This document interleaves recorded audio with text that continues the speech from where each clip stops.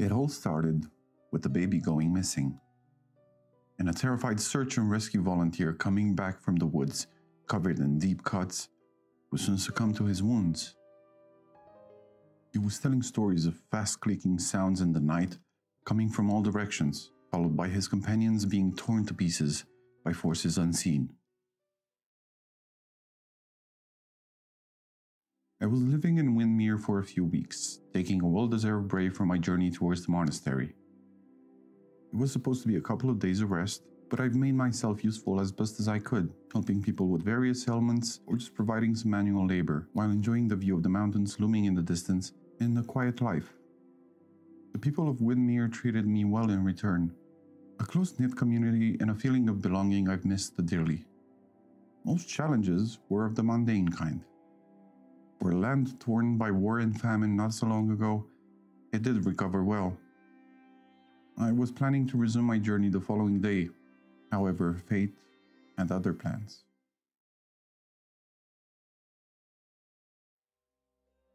It all changed one terrible night when the village sprung to life with fear and confusion upon discovering the mutilated remains of a man who went outside with his newborn. Apparently, the child had been having trouble sleeping and was inconsolable until he had some fresh air in the arms of his father. The wife found her husband in three big pieces in the garden with smaller cuts all over his body. The more alarming thing was that the child was missing.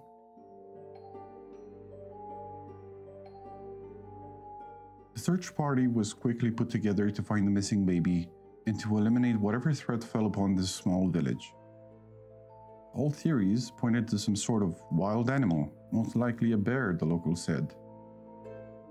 It didn't make sense how a bear could do something like that to a grown man in such clean swipes and with such speed. And what did it want from the infant? A snack for her cubs, maybe? Did it just run away, startled by the commotion, while still holding on to its prey? Time was of the essence. I quickly joined one of the four groups organized by the locals in case there was need of my healing abilities, and off we went. Windmere was the first settlement on the road east towards the mountains, with a few hills starting to dot the landscape and the banks of the Dessos River up north. A few signs pointed in that direction, so that's where my group decided to start the search. We were all quietly advancing for about an hour, investigating every sound we heard around us, hoping for a cooing sound or crying, if not for something for the grieving mother to bury. The forest was relatively easy to navigate, but it all started to look the same at one point, with no clues to reassure us we were making any progress. When we got close to the river, we started following its path. Another group signaled that they had found something further down the riverbank, so we made our way towards them with hope in our hearts for a positive outcome. They found a hole in the ground, covered with branches, leaves, and dirt, when one of the searchers slipped and almost fell into it. A handy torch revealed the long decomposed remains of what looked like people and wild animals.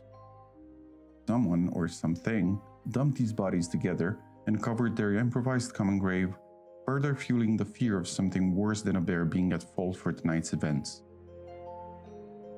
We soon decided to go back to the village and report our findings, most of us trying to comfort ourselves with the idea that one of the other groups had better news than we did. On our way back, the silence was sustained by a somber mood and more questions than before.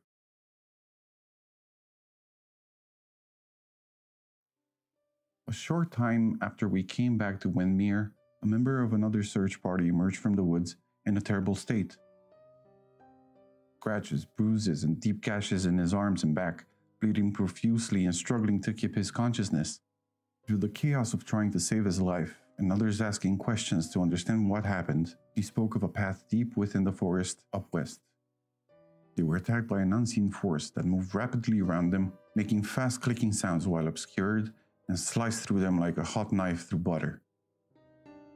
He survived because one of his companions fell on him while being ravaged by the attacker, but not without feeling the blades cutting through and wounding him as well. After it got quiet, he slowly started sneaking away and managed to get back to us. The wounds were very deep, and we tried our best. But I was told that later that night, he passed away.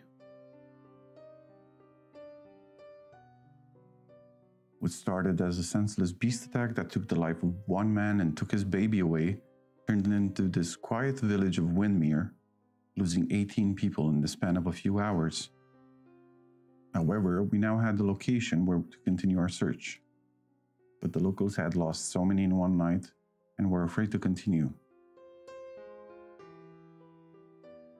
A group of what seemed like mercenaries offered their help in dealing with this issue, or at least obtain more information. They seemed to have a lot more experience dealing with threats that were beyond normal. Even though I wasn't as confident or prepared, I offered my assistance. We were now seven in total, with weapons and armor donned like they were preparing for a war or a confrontation with some mythical beast. Stranger still, they seemed excited and remarkably light-hearted considering the situation. After traveling for almost two hours northwest, we reached our destination.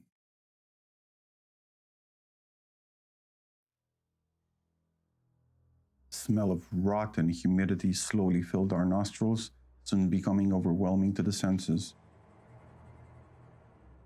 We noticed pieces of decaying rope and cloth thrown around in the canopy, with some decorative pieces made out of twigs and dry bone dotting the branches. The dirt under our feet was covered in bone fragments and pieces of some recently butchered wildlife. The victims of the search party that dared explore this cursed place were bundled up close together, but a few were clearly missing, with the grass being flattened towards the denser areas of the woods, out of sight. Standing in the middle of this grotesque display of bone, flesh, and decay, and after recovering from the impulse to spew, we noticed a sunken patch in the ground hidden by the undergrowth, which led to a small tunnel. The rock was scratched and chiseled away with what seemed like small, sharp tools going into the earth at a slight angle. There was enough space for us to crawl on all fours, going into the darkness one by one, hoping for answers or at least to survive whatever awaited us. After a few minutes of crawling in the ground, it soon became steep and slippery, spitting us inside a large natural cave. We fell on wet stone and mud, taking a bit of a beating from the impact on the hard surface or each other's flailing bodies. The echo announced our arrival, and to our delight, prompted a soft cooing sound from across the room. The opposite wall was filled with clutter, broken barrels and crates, and various objects arranged in a way that would imitate a rudimentary living space. Among the rubble, the baby we had been looking for was alive, comfortably sitting on an old rocking chair covered in softwares recently obtained.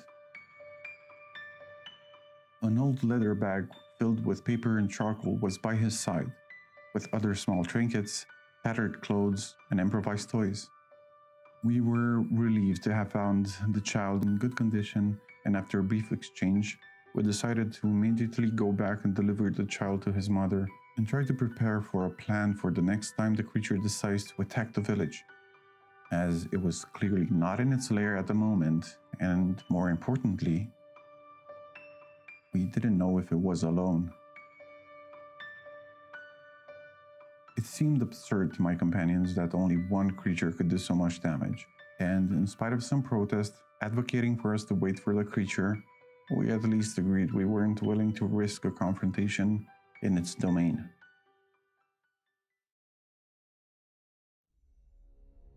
The chatter was interrupted when fast tapping sounds started reverberating from another tunnel that we didn't initially notice. The whole group was ready for battle, as they instructed me to hold the child and stand back. I quickly took shelter amongst the clutter, trying to get as close to the cavern wall as possible. After a brief moment of silence, the tapping sound started getting faster and louder, and out of the darkness, a raggedy doll with no lower body, a big head covered in slick, greasy hair, and oddly humanoid looking hands with sharp claws jumped towards the mercenaries with wild slashing movements. The battle with the creature began, with the fast moving attacker using its long limbs to quickly walk along the entire space, its nails aiding with its grip on the ceiling when it needed to avoid attacks or gain a better position, but it was determined to eliminate the intruders. It was also clearly trying to get around them and get to me. But the group worked well together and, uh, one at a time, used their martial and magical prowess to control the situation. At one point, one of the mercenaries started reciting a melodic poem to inspire his companions. But the puppet quickly found a way to him and, with one quick slash, took his voice away.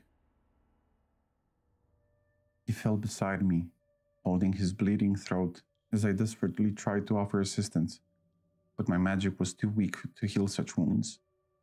The light in his eyes went away as he stared at me in terror and deep sadness, and all I could do was form a protective hold of the baby, turn around, make myself as small as possible while the chaos continued around me. Impacting sounds of metal, yelling and screams, claws slicing the air, crumbling rock and wild magic united in a cacophony of sound that felt unbearable to hear. Among the fighting, two voices started chanting in unison in a strange language, with the doll continuing its rampage above them, reaching a crescendo after a few seconds while the air felt more and more electric.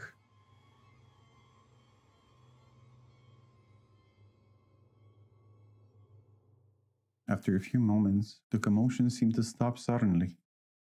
With only a few gasps of air, gurgles and moans announcing the return of silence in this forsaken cave deep within the bowels of the earth.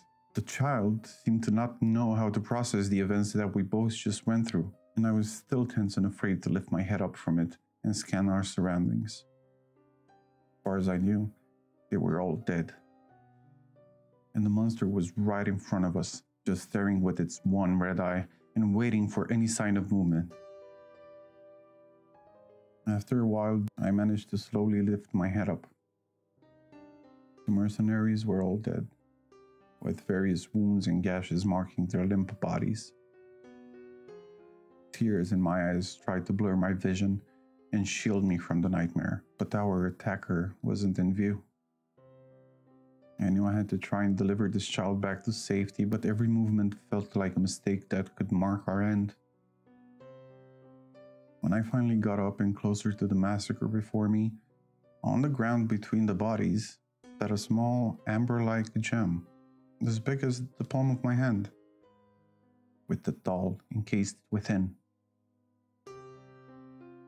This creature seemed to be frozen inside.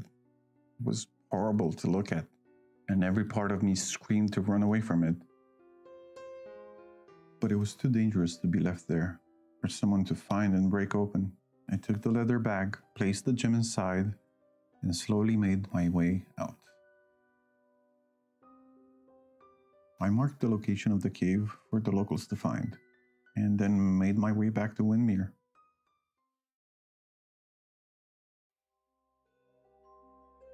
The mother grabbed onto her baby while continuously crying and thanking me for saving her son while I kept trying to regain focus and tell everyone what occurred. Meanwhile, they were preparing to mourn and bury their dead. The locals helped me recover, but a deep sense of urgency built inside of me, telling me I had to reach my destination as quickly as possible. I had no idea what the mercenary wizards did to this creature but the priests at the monastery surely had an idea what it is and how to deal with it. I had time to go through the notes I found in the bag, and from what I understand, this is what happened. Based on scribblings left by what I would assume to be a few abducted children across time, Apparently, a group of mothers prayed to whoever would listen to protect their children during the war that was ravaging the land years ago, after it took their husbands, and disease and famine were threatening their lives. Something listened and used the children's dolls or toys as vessels. However, they took their defensive role way too far, protecting the children from anything that might happen to them. Soon enough, the parents themselves were attacked for small things such as raising their voices, as well as other children, even for a silly, hurtful remark. Whoever or whatever seemed like the slightest threat was eliminated, with the dolls even attacking each other. The children were often being locked inside their rooms, left to waste away in the shadow of their protectors' twisted care. Instances of dolls bringing raw food were mentioned in a possible attempt to feed their prisoners, but was taken away if the children would have negative reactions to it, even if the reaction was pure fear caused by the terrifying creature before them. There was always at least one child in the care of a doll and would soon find another if it died. The mission was always to save and protect children. It is unclear where it all started because the one we found wasn't the first layer. It is possible it started downstream and made its way up the Dessos River. This is clearly a situation of accidental summoning that could become a major threat if not dealt with by capable priests. Which is why I intend to get this gem in the hands of those that can properly contain or even banish it. At first light, I will take my leave.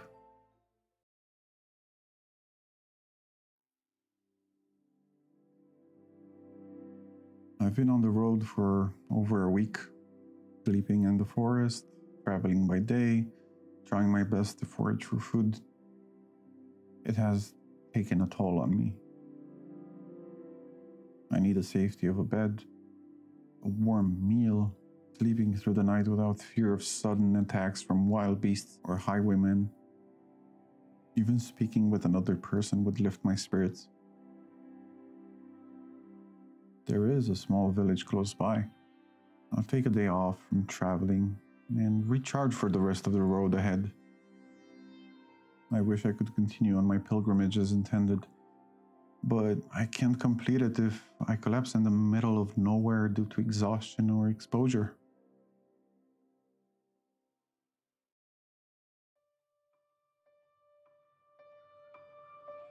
It is such a pleasant sight. A bustling village, the smell of fresh food being cooked, people living their simple lives in peace and safety. I got settled in last night, had a long bath, a hearty hot meal, and slept well past noon. Now, I am enjoying some coffee at this tavern in the Central Park, at a table under the shade of an apple tree, surrounded by joy and laughter. I think I can make myself useful, help people with various ailments, or just provide some manual labor if needed. It reminds me of home. Our neighbor was an amazing cook, would always give us some snacks in the afternoon, probably leftovers. So